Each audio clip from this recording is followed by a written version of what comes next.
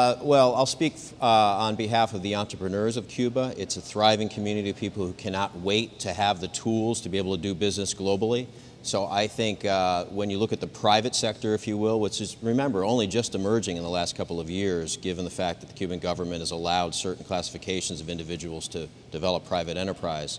So I, I think overall it's very bullish. However, that's uh, balanced against the fact that there's uh, significant cautions among that population, a population of people who sometimes feel like there's surveillance and restrictions around their freedoms. So you can never fully get away from the political reality of the situation.